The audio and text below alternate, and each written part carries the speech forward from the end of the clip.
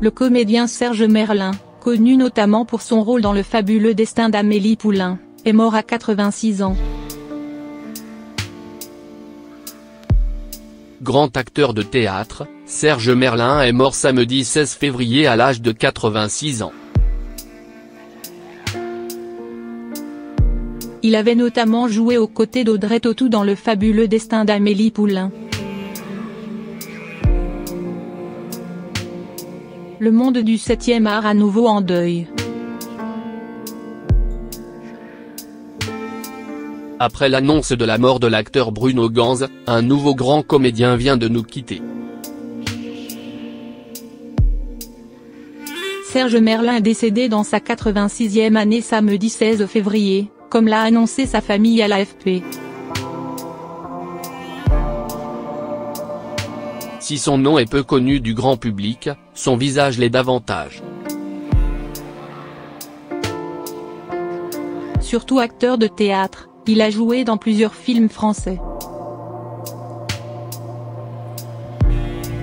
Il a notamment interprété le rôle du peintre aux os fragiles, Raymond Dufayel, dans le fabuleux destin d'Amélie Poulain. Mais c'est surtout sur les planches que Serge Merlin s'est illustré.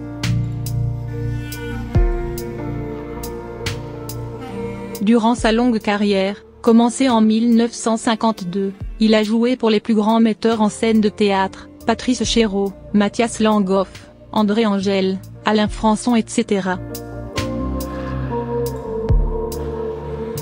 et d'interpréter les pièces les plus mythiques comme L'école des femmes de Molière ou Hamlet et Le roi Lear de William Shakespeare.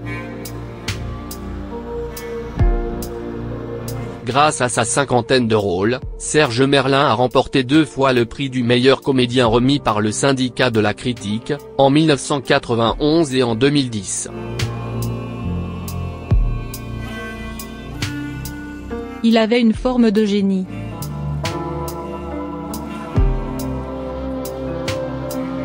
Il s'investissait totalement dans l'objet théâtral à créer, parfois jusqu'à la négation du réel, a déclaré à la AFP Frédéric Franck, le co-directeur du théâtre Montancier à Versailles. Il n'a jamais renié ses films, mais il vivait pour le théâtre. L'année dernière, il a joué son dernier rôle au cinéma, celui de Louis XI dans Un peuple et son roi de Pierre Chelet.